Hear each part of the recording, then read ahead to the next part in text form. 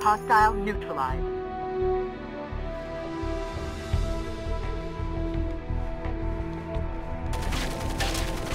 Mission failed. Yeah, it's one of those games. Raven Shield is the last entry in the Rainbow Six series to claim to be a realistic game. It takes pride in its methodical, slow and highly lethal gameplay. However, it fails on almost every level. Let's begin. Threat neutralized. Before each mission starts, you get to plan out the operation. You can bring up to 8 people on the battlefield and give them a variety of weapons, armors and tools. One cool part of the game is the fluff. Weapons have descriptions, officers have biographies, and missions have thorough briefings with your superiors speculating on who's behind the whole thing. When selecting your team you should also consider stats. I won't go in detail on each one, just know that demon electronic specialists aside, they all have a place. Weapons even have different attachments, although you're going to mostly use the silencer. Now here's the problem, you're not supposed to get into the enemy's line of sight because of, you know, this. But while weapons are lethal, the tools you're given to play around gunfights are all completely useless. Flashbangs are a coin toss, Tear gas have a small AoE, doesn't stop people from running away and it forces you to equip a gas mask. Frags are either hit or miss or when stealth is paramount a detriment. And the other explosive you get are memes as well. You should use them to lay down ambushes, but why? The enemy seldom pushes you and if they do it's one of the time anyway, so why not use guns? Hostile neutralized. I guess you can open double doors with them.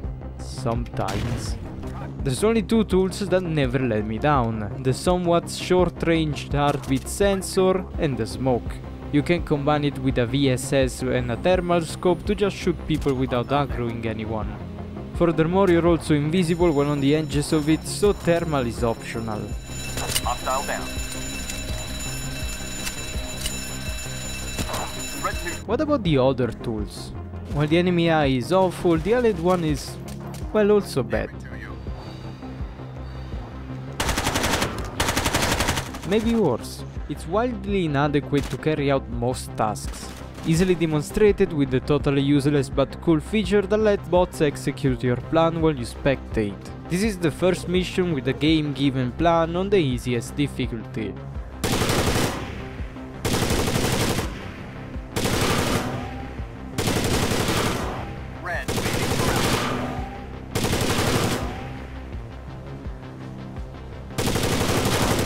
Go, go, go! See, at least the enemies will turn to face gunshots. What they excel at is breaking into a room full of stunned enemies to one-shot them effortlessly and without endangering hostages or teammates. The problem is that you can't order your squad to breach and clear like you would in, let's say, SWAT 4. There's no option to use breaching charges. You can use them yourself, but you then have to switch character to get in in time. Even when asked to toss a flashbang, they will stand in front of the door. Flash and clear. I'm on it. The man!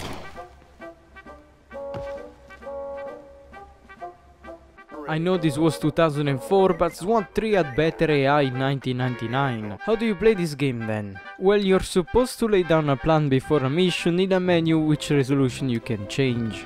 Plans can get pretty intricate, but at the end of the day your first try will never go smoothly. So you readjust the plans and try again. Rinse and repeat. It's nothing but trial and error.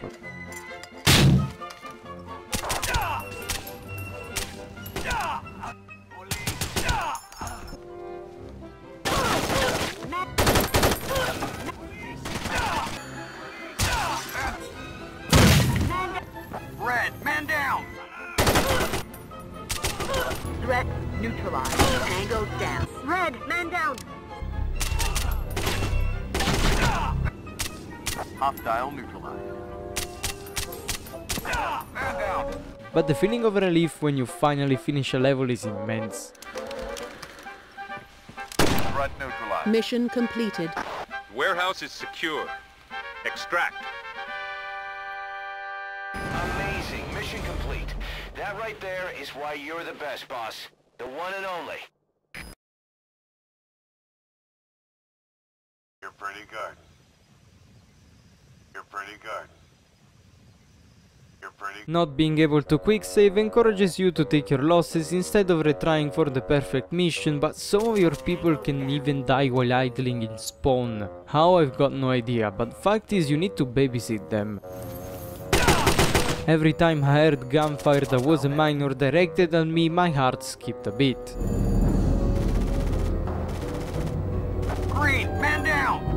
So instead of using bots as people, you use them as taxis. You do their combat beats, swap teams, and while you do another combat section, the previous squad will be on the move until it reaches a go code. The path of least resistance will be to just use a squad of 3 people and switch between the guys based on what tool you need. This way you can completely skip the planning section. Technically you could just load a dev made plan, but they usually tend to overestimate the AI's capabilities. So yeah, sadly you can't rely on either friendlies or your tool that much, so the game ends up being a luck-based unenjoyable mess. Mission failed. A bomb was detonated. Especially when hostages or bombs are involved. Mission failed. Mission failed. Mission failed. Mission failed. Down. Mission failed. Hostile neutralized. Mission failed. Hostile neutralized. Threat neutralized. Mission failed. Mission failed. Hostile neutralized.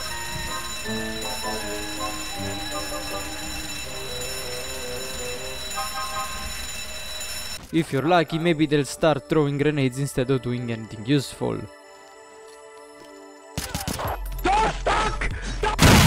Come to think of it, even gunfights are RNG based. Tango, down. I'm right. Side note, who put explosive barrels in this tactical simulator? The levels aren't even held together by a good narrative thread. There is one, it's just not very good. During each briefing you get some intel and backstory on the mission. Each one is connected to the opening cutscene. Too bad it came straight out of an Indiana Jones movie. Basically some Germans hid some money and now some Germans speaking South American neo-Nazi use said money to be evil. Serviceable, but nothing to write home about.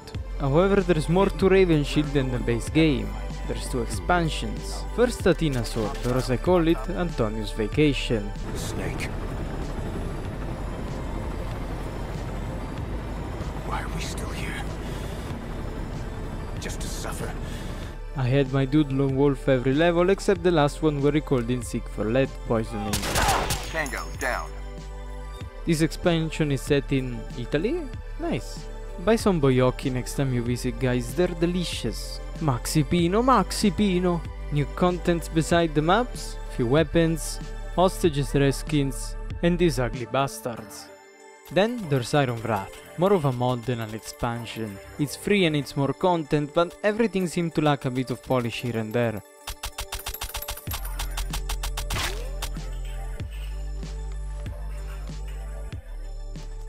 It sports the easiest missions despite their size. So any irredeemable quality? Well you can open doors slowly and lean incrementally. Okay, memes aside, you need some very thick nostalgia goggles to enjoy this game. Threat neutralized. Mission completed. I admit however that in a masochist kind of way Raven Shield was somewhat fun. It offers the same feeling that all video games marketing themselves on difficulty rely on. Meaning that yes, all the hours I played were painful, but finally overcoming a difficult level felt amazing. Alas, this doesn't really salvage the game, it's more of a side effect of so many things falling flat on their faces. And while Ghost Recon didn't have any way to play around the frustrating moments, Raven Shield just gives you faulty tools. So in conclusion, Rainbow Six 3 wore my patience thin. At the end of the day, there's way better tactical shooters than this one. It's trial and error through and through and the only way to avoid it is to cheese the AI and accept the inevitable losses of your squad mates. I don't recommend it, but it's very cheap, especially on sale, so if you want to re-experience some memories or if you crave a frustratingly difficult experience, don't let me stop you. At least it has doors, so I guess it one-up Siege. Okay, that's all. Thanks for watching. See ya! Tango, hostile. Threat neutralized. Tango, threat neutralized. Tango, down. Threat neutralized. Hostile. Threat down.